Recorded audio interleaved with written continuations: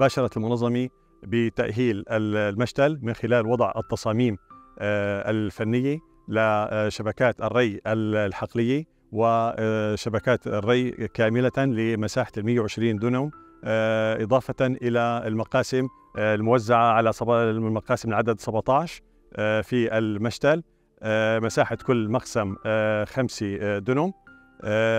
وتم طبعا الهدف من تأهيل المشتل هو إنتاج الغراس وأمهات الغراس بهدف إعادة إحياء السروة الشجرية التي تضررت خلال الأزمة في سوريا.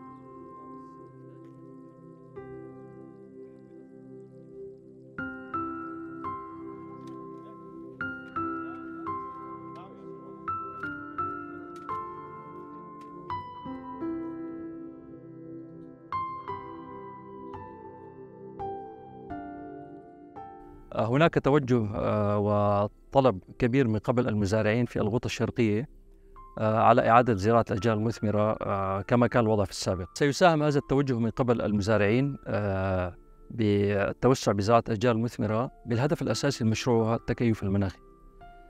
حيث أن الأشجار المثمرة من المعروف أن هي أقل احتياجا للمياه وبالتالي سيكون هناك ضغط أقل على الموارد المائية مقارنة مع المحاصيل الحقلية التي هي أكثر احتياجا. آه، بالإضافة إلى كما هو معروف أن الأشجار هي آه، تحسن الجو العام والبيئة العامة في المنطقة المحيطة وبالتالي تخفف من آثار الظروف المناخية والحرارة الشديدة. آه، كل هذه العوامل ستخدم المشروع وستعيد المنطقة إن شاء الله إلى سابق عهدها من حيث كثافة الغطاء النبتي من الأشجار المثمرة